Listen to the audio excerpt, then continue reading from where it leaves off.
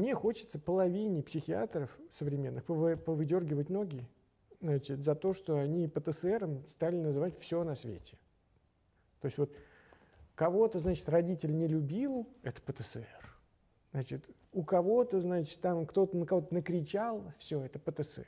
Значит, я вам рассказываю, что такое ПТСР. К счастью, очень мало ПТСР. Ну, как бы в мирное время и так далее. Вот.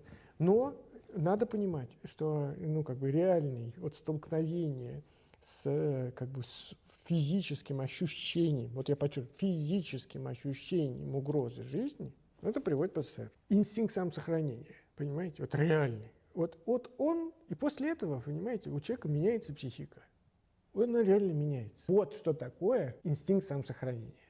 Вот это инстинкт самосохранения. А все остальное вот это галиматья.